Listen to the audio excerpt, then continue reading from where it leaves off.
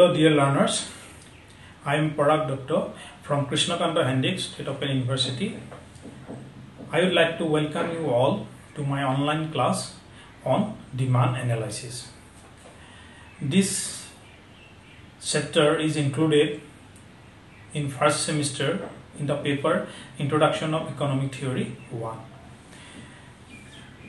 The topics which I will include in this class are the idea of demand and demand curve অৰ্থাৎ চাহিদাৰ সংজ্ঞা আৰু চাহিদা ৰেখা movement along a demand curve অৰ্থাৎ চাহিদা ৰেখাৰ চলন shift in the demand curve অৰ্থাৎ চাহিদা ৰেখাৰ বিচ্যুতি exception to the law of demand অৰ্থাৎ চাহিদা বিধিৰ ব্যতিক্ৰম ইলাষ্টিচিটি অফ ডিমাণ্ড চাহিদাৰ স্থিতিস্থাপকতা then price elasticity of demand চাহিদাৰ দৰ স্থিতিস্থাপকতা ইনকাম ইলাষ্টিচিটি অফ ডিমাণ্ড চাহিদাৰ আয় স্থিতিস্থাপকতা আৰু শেষত মই আলোচনা কৰিম ক্ৰছ ইলাষ্টিচিটি অফ ডিমাণ্ড অৰ্থাৎ চাহিদাৰ তীৰ্যক স্থিতিস্থাপকতা।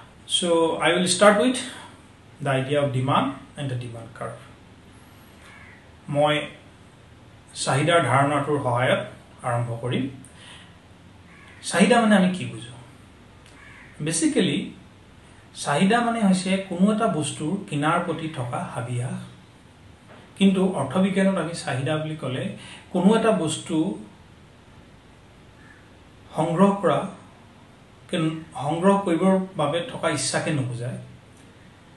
অৰ্থনীতিত চাহিদা বুলিলে demand implies that the desire to purchase a commodity which must be supported by each purchasing power. Let me give you a very simple example. If I am saying that there is a consumer, say consumer A, consumer A wants to purchase a mobile handset which cost around 10,000 rupees. Now, to create a demand for that mobile handset, consumer A must have that amount of purchasing power that is rupees 10,000 to purchase that particular mobile handset. So that is why to create demand, two things is important. The desire to purchase that commodity that is অৰ্থাৎ কোনো এটা সামগ্ৰী সংগ্ৰহ কৰাৰ প্ৰতি থকা হাবিয়াস আৰু ছেকেণ্ডলি দ্য পাৰ্চেজিং পাৱাৰ অৰ্থাৎ বস্তুটো সংগ্ৰহ কৰিবৰ বাবে যিটো আমি মূল্য প্ৰদান কৰিব লাগিব সেই মূল্য উপভোক্তাজনৰ লগত থাকিব লাগিব। এতিয়া চাহিদাৰ ক্ষেত্ৰত আমি কি দেখা পাওঁ? যে চাহিদা আৰু বস্তু এটাৰ দাম সদায় বিপৰীতমুখী হয়। আৰু সেই ৰিলেশ্যনটোক অৰ্থবিজ্ঞানক কি বুলি কোৱা হয়? চাহিদা বিধি। চ' চাহিদা বিধিটো অৰ্থবিজ্ঞানত কেনেদৰে ব্যাখ্যা কৰিছে? যে অন্য অৱস্থাসমূহ স্থিতাৱস্থাত থাকিলে কোনো এটা সামগ্ৰীৰ দৰ আৰু ইয়াৰ চাহিদা সদায় বিপৰীতমুখী হয়।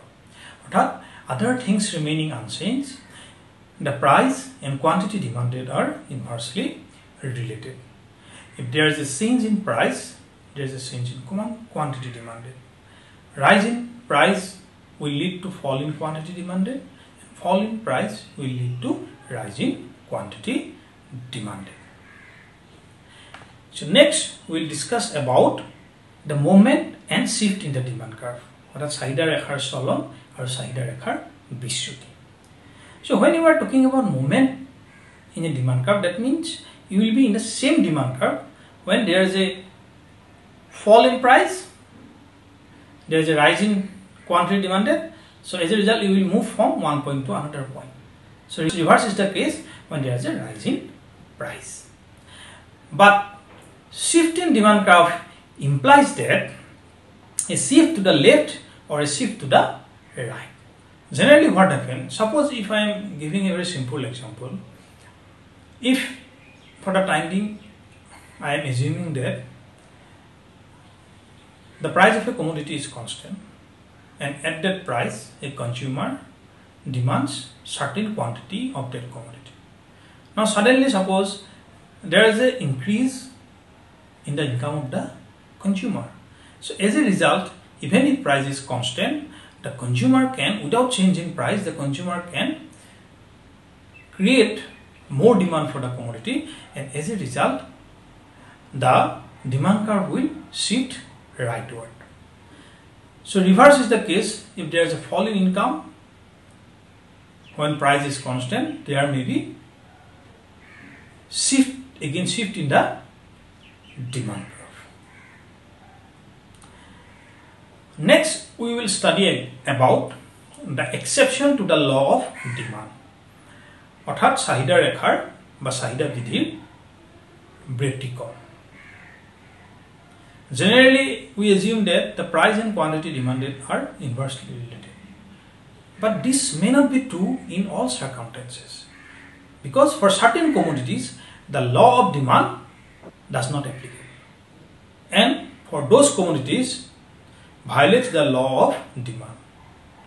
So what are those exceptional commodities or you can say what are those exceptional situations? So basically the law of demand is not applicable in case of given goods. Now, what is given goods? The concept of given good was basically given by uh, economist Robert Giffen. So, in case of given goods, even if there is a fall in price, there may not be rise in quantity demanded, and even if there is a rise in price, there may not be fall in quantity. demanded. Why? Because in case of given good, the income effect is too high to nullify the effect of substitution effect. So as a result, in case of given good, the price and quantity demanded are positively related. And second exception case is in case of state, the commodities which recognizes a status symbol for the consumer. Now there are some commodities people demanded because of their price. Now if there is a fall in price of that commodities drastically, people will not create demand for those commodities because those commodities no longer a status symbol for that particular consumer. So in case of those commodities, the law of demand does not hold good. And in case of speculative consumption also, the law of demand may not be applicable. অৰ্থাৎ এইকেইটা চিটুৱেশ্যনত আমাৰ যিটো চাহিদা বিধি সেই চাহিদা বিধি সদায় এপ্লিকেবল নহয়। নেক্সট আমি অধ্যয়ন কৰিম বা ডিছকাছ কৰিম ইলাষ্টিচিটি অফ ডিমাণ্ড অৰ্থাৎ চাহিদাৰ স্থিতিস্থাপক what is elasticity so' elasticity relates to the degree of responsiveness of quantity demanded of a good to a change in its price or consumer income or prices of related goods. Now, elasticity of demand can be categorized as price elasticity of demand, income elasticity of demand or cross elasticity of demand. অর্থাৎ চাহিদাৰ দৰ স্থিতিস্থাপকতা চাহিদাৰ আই স্থিতিস্থাপকতা আৰু চাহিদাৰ তীৰ্যক স্থিতিস্থাপকতা let me start with price elasticity of demand the price elasticity of demand measures the responsiveness of quantity demanded of a good to change in price other things remaining the same অৰ্থাৎ চাহিদাৰ দৰ স্থিতিস্থাপকতাই কি মাপ কৰে যে কোনো এটা সামগ্ৰীৰ দৰৰ পৰিৱৰ্তন হ'লে চাহিদাৰ কিমান শতাংশ পৰিৱৰ্তন হয়। So' price elasticity of demand can be again explained in terms of point elasticity of demand as well as the arc elasticity of demand the point elasticity of demand technique is use to measure the price elasticity of demand of a good if the change in its price is very small. অৰ্থাৎ কোনো এটা সামগ্ৰীৰ দৰৰ পৰিৱৰ্তন যদি খুব সামান্য হয় তেতিয়া আমি পইণ্ট ইলাষ্টিচিটি অফ ডিমাণ্ড যিটো ধাৰণা সেই ধাৰণাটো ব্যৱহাৰ কৰোঁ।